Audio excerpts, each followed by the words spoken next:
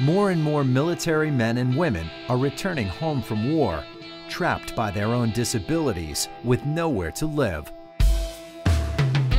Designing Spaces has called together a team to help, and together will provide Jeffrey and his family a place they can call home. They put their lives on the line. Now it's time to give back.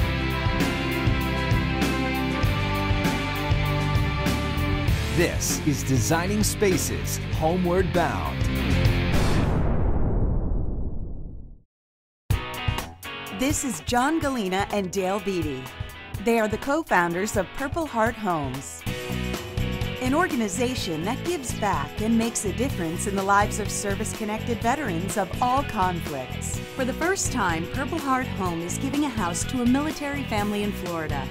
Private First Class Jeffrey Taylor and his family will soon be calling this house in Jacksonville, Florida, their own. Volunteers and crew are also busy working on the backyard. After laying dirt and leveling the field, the sod is thrown down. With such a big backyard, the Taylors will surely need a storage room. That's exactly why Designing Spaces invited Darrin Gunnell from Lifetime Products to talk about the ins and outs of an outdoor shed.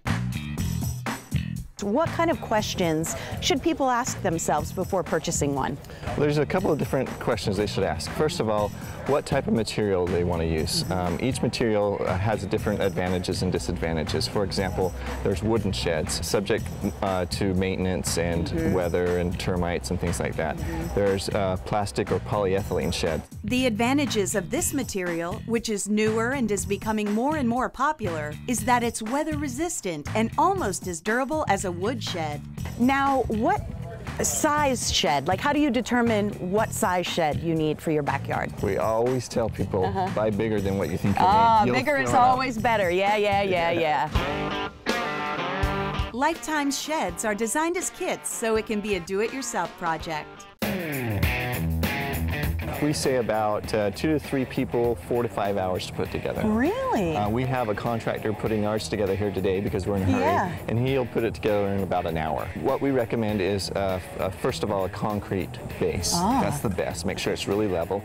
If you can't do that, gravel base works, or asphalt, Okay. or even some some patio type pavers works well Oh, too. wow. Just make sure it's really level and flat before you begin your shed. Exactly. We don't want to. And where can we learn more?